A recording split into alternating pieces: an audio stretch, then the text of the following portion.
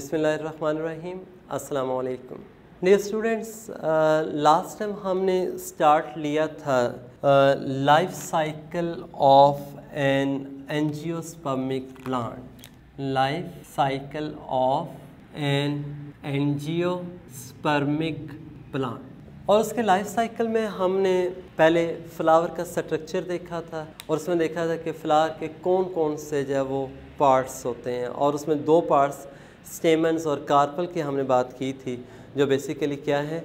Reproductive parts हैं। अब इसी तरह से ना यानी वो स्टेमन्स के अंदर के ऐसे जो वो माइक्रोस्पोर्स बनते हैं, वो डेवलप करेंगे पोलन ग्रेन्स बनेंगे पॉलिनेशन के बाद वो कैसे पोलन ट्यूब बनती है और वो डेवलप करके मेल गैमिटोफाइट बनाती है। और इसी तरह से जो ओवरी वे ओव्यूल होता है, यानी एक तरह का वो इंटेगोमेंटेड मेगास्पोरेंजियम है, उसमें कैसे वो मेगास्पोर डेवलप करेगा और एम्ब्रियो सैक जो है ना, उसके अंदर फीमेल गैमीट एग बन जाता है, यानी वो फीमेल गैमीटोफाइट में चेंज हो जाएगी। ये हम सारी बातें प्रीवियस लेक्चर में कर चुके हैं। आज हम देखेंगे कि जिस वक्त वो पोलन ट्यूब जो है, मैं दोबारा से वो ड्रॉ करता हूँ जहाँ पे हमने वो लाइफ साइकिल जो था वो यानी जिस स्टेज पे छोड़ा था, वो ये था कि ये हमारे पास क्या है, इस तरह से वही कार्पल स्टिग्मा स्टाइल और ये आपको ओवरी उसमें नज़र आ रहे हैं और ये उसमें क्या था, इस तरह से ये जो स्ट्रक्चर है दिस इज़ द ओव्यूल और उसमें वो polar nuclei synergids help cells ये सारी बातें हम पहले कर चुके हैं। एनीवे anyway, ये जो था इस तरह से माइक्रोपाइलर एंड के पास ये वो एग था या ओवम होता है। और इस तरह से ये जो मैं ड्रा कर रहा था ये ट्यूब लाइक स्ट्रक्चर जो था दिस वाज पोलन ट्यूब जो डेवलप की थी या प्रोड्यूस हुई थी intines intine of pollen grain से। और जैसे वो माइक्रोपाइलर एंड तक पहुँची थी उसमें क्या था? जो जनरेटिव न्यूक्लियस था, उसने डिवाइड करके इस तरह से क्या था, दो स्पम्स प्रोड्यूस कर दिए थे। और हमने एंड पे क्या बोला था कि जो जिस डिज़ोल्व हो जाएगी इसकी पोलन जिस डिज़ोल्व हो जाएगी पोलन ट्यूब की टिप और ट्यूब न्यूक्लियस तो दोनों स्पम्स फिर क्या है एम्ब्रियो सैक के अंदर एंटर हो जाएँगे। और ये वाला जो पार्ट था, इसको हमने एम्ब्रियो सैक का नाम दिया था या फीमेल गैमिटोफाइट का। अब एंटर होने के बाद जो नेक्स्ट स्टेप बनता है वो क्या है? फर्टिलाइजेशन यानी ये जो स्टेप है, इसको आप क्या नाम देंगे?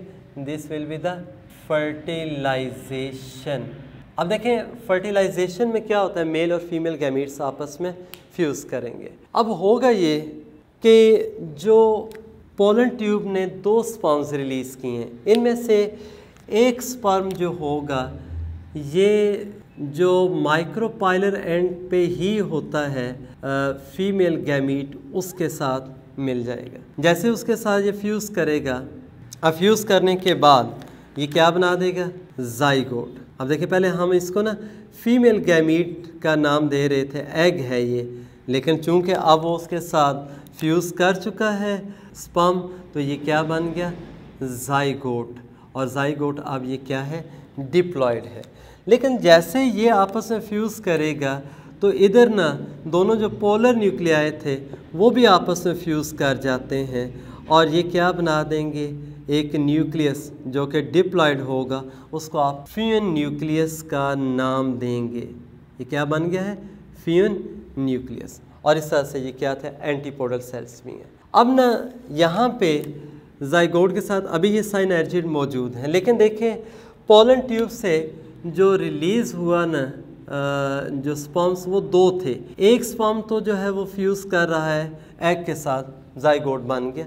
लेकिन दूसरे वाला जो होगा, वो जाके फ्यून न्यूक्लियस के साथ अब फ्यूज़ करेगा। यानी जो सेकंड होता है, वो किसके साथ फ्यूज़ करेगा स्पम? फ्यून न्यूक्लियस के साथ। अब देखिए, मैं इस चीज़ को ऐसे भी कर देता हूँ कि ये हमारे पास क्या था? तरह से दो स्पम्स मौजूद हैं जो जेनेटिव न्यूक्लियस से बने थे और दोनों क्या हैं? हैप्लॉइड हैं। एक ने क्या था? एग के साथ फ्यूज़ किया तो उस एग भी हैप्लॉइड और उसने क्या है?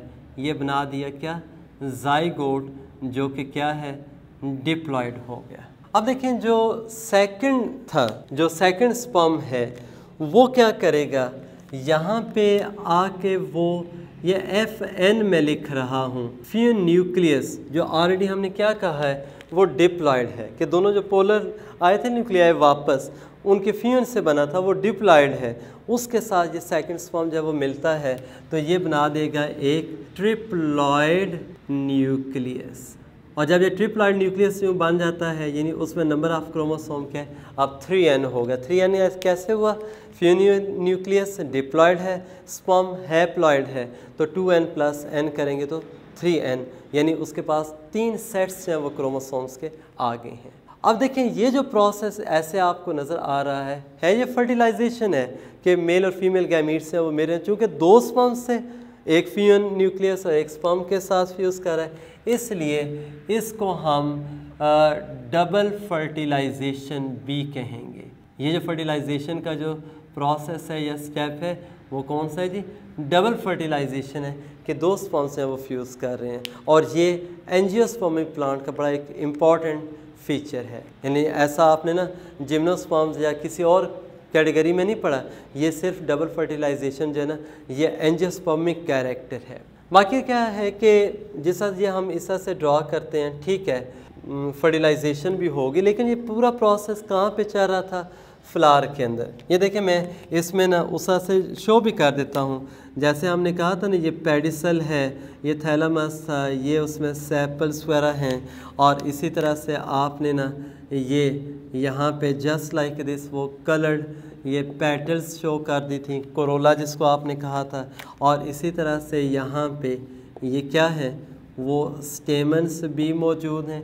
ये सारे वही मैं दोबारा से ये शो कर रहा हूँ। Just to just to make you understand कि ये ना उसी फ्लार के अंदर ये हुआ है। ज़रा हम वो बार बार चूँकि इसको ड्रा कर रहे थे, इसलिए मैंने बार बार वो पैटर्न्स वगैरह इस तरह से ड्रा नहीं की यहाँ पे। अब देखें, जब ये फर्टिलाइजेशन हो जाती है, अब फर्टिलाइजेशन के बाद ना इस एम्ब्रियो सैक के अंदर भी चेंजेस आएँगे और इसी तरह से जो फ्लावर एज अ होल है, उसमें भी क्या चेंजेस आती हैं। अब वो चेंजेस क्या क्या हैं? सबसे पहली बात ये कि जो फ्लावर होगा, उसके स्टेमन्स भी ड्राई हो जाएँगे, उसके पेटल्स भी ड्राई हो जाएँगे और इवन के सैपल्स भी हो जाते हैं। लेकिन कुछ केसेस ऐसे होते हैं कि जिसमें सैपल्स होते हैं ना, हम कहते हैं दे रिमेन परसिस्टेंट वो ड्राई नहीं होंगे। लेकिन मेजॉरिटी केसेस में वो क्या है? ड्राई हो जाते हैं। अब बल्कि वो जिसमें नहीं होते आपने देखा भी होगा मिसाल के तौर पे जैसा टोमेटो है, अब वो टोमेटो के ऊपर ना बास का ये वो छोटा सा उसका अपना जो स्टॉक है वो भी आता है तो जस्ट लाइक दिस हमें ये उस पर नज़र आ रहे होते हैं, ये लीफ लाइक ना छोटे से होंगे। और ये जो लीफ लाइक आपको ऐसे नज़र आते हैं, ये क्या है? वो सैपल्स होते हैं एक्चुअली, लेकिन ये इसमें क्या है? परसिस्टेंट है। दूसरा, आपने देखा होगा कि जो इस से एग प्लांट भी कहते हैं या ब्रिंजल जो बैंगन है, उसके ऊपर भी आपको बड़ी क्लियर लेना। ये उसका, ये था ग्रीन सा स्टॉक है।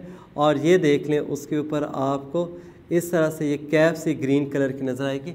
ये कुछ केसेस में रहता है इस तरह से।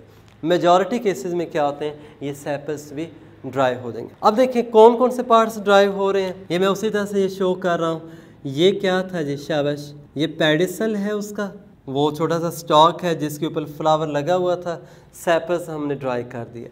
पेटल्स भी ड्राई हो गए। स्टेमन्स भी ड्राई हो गए। अब देखें जो कार्पल है उसका ना, सिर्फ़ ये लोअर पार्ट यानी ओवरी रह जाएगा। अब ये देखें, ये क्या था? ये ओवरी वाला पार्ट था और इसमें ओवरी के अंदर क्या है? वो फर्टिलाइज जो ओव्यूल जो है वो मौजूद है। इसमें क्या था?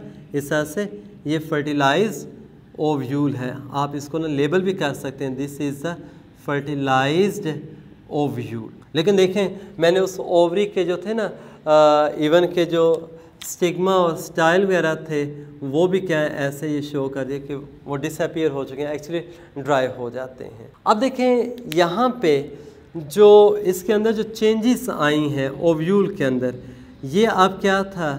ये वो एंडोस्पर्मिक न्यूक्लियस भी इसको हम कहते हैं। यानी वो जो ट्रिप्लॉइड न्यूक्लियस था, वो क्या बना देगा? एंडोस्पर्मिक न्यूक्लियस और ये जो एंडोस्पर्मिक न्यूक्लियस है, वो थ्री एन ए ट्रिपलाइड है। और दूसरा, इसके अंदर ये जो मौजूद था, एक दिस इज़ द जाइगोट जो कि क्या है? डिप्लॉयड न्यूक्लियस है। और हम कहते हैं जो जाइगोट होता है, वो एक स्टार्टिंग सेल है फॉर द नेक्स्ट इंडिविजुअल अब देखें, ये फ्लावर जो है वो फर्टिलाइजेशन के बाद उसका जस्ट इतना सा पोर्शन रह गया।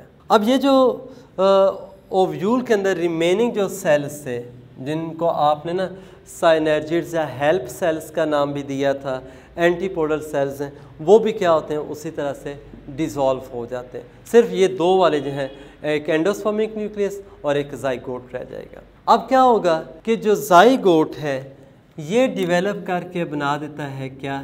एम्ब्रियो ये क्या बनाएगा? एम्ब्रियो जबकि जो ट्रिपलाइन न्यूक्लियस है, ये क्या बनाएगा? न्यूट्रिटिव टिश्यू ये डिवेलप करके क्या बना देता है? न्यूट्रिटिव टिश्यू अब देखें ये दोनों कहाँ पे थे? ओव्यूल के अंदर। अब जो ओव्यूल के बाहर जो मौजूद था जिसको आप इंटेगुमेंट का नाम दे रहे थे, और ये जो इंटेगुमेंट है, ये फर्टिलाइजेशन के बाद कन्वर्ट हो जाता है किसमें? सीड कोट के अंदर। और आप खुद देखें सीड कोट है उसके अंदर न्यूट्रिशन या न्यूट्रिटिव टिश्यू मौजूद है। और इसी तरह से क्या था आ, उसमें एम्ब्रियो भी है तो ये कंप्लीट जो स्ट्रक्चर होगा this will be called as seed यानी एक ओव्यूल जो है वो किसके अंदर कन्वर्ट हो गया? सीड के अंदर। यानी आप इस चीज़ को ना ये कह भी सकते हैं कि ये क्या हो रही है? सीड फॉर्मेशन हो गई। ये क्या हो रही है? सीड फॉर्मेशन हो रही है। यानी वही ओव्यूल जो होगा, वो डिवेलप करके क्या सीड में कन्वर्ट हो रहा है। बाकी रहा, इसमें जो ओवरी वॉल है ओवरी वॉल को हम नाम देते हैं पेरिकार्प का। क्या कहेंगे इसको आप? कि this is a pericarp ovary wall जो है। अब ये जो ओवरी वॉल या पेरिकार्प जो है, ये फ्यूचर में डेवलप करके बनाएगी फ्रूट और ने तो सीड बना दिया।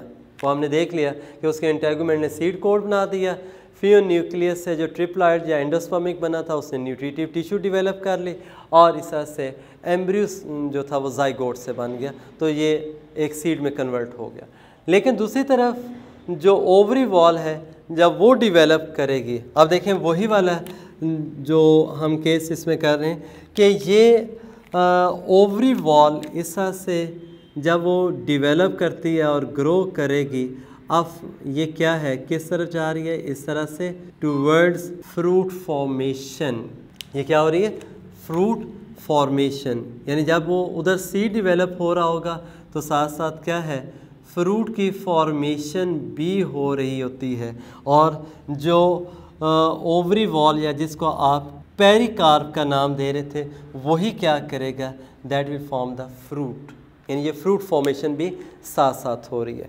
और एंड के ऊपर क्या है, जब सीड भी मैच्योर हो गया फ्रूट भी मैच्योर हो जाता है, और उसके बाद क्या है, जो लास्ट स्टेप होता है that is the ripening of the fruit ये क्या हो जाएगा? इस तरह से राइपनिंग ऑफ़ फ्रूट ये देख लें।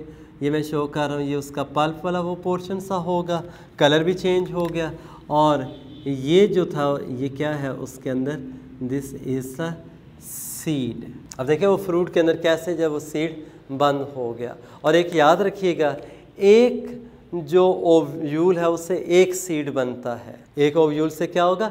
एक सीड बनेगा। और इस तरह से एक फ्रूट को जब आप ओपन करते हैं तो उसके अंदर जितने भी आपको सीड्स नज़र आते हैं just by counting the number of दो seeds you can calculate what was the number of ovules in the ovary of that flower अब इसके बाद ना, ये देखें, जैसा राइपनिंग कंप्लीट हो जाती है, फिर जो फ्रूट यहाँ से ब्रेक होकर सेपरेट हो जाएगा और फिर वो डिफरेंट मीन्स के थ्रू क्या होगा? डिस्पर्स हो जाता है। यानी इस तरह से वो फ्रूट जो है ना that is also helpful in the dispersal of seed thank you